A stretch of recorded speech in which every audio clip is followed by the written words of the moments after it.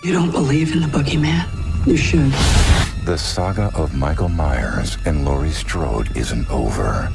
On October 16th, 2020, Halloween kills. Get out of here! And on October 15th, 2021, Happy Halloween, Michael.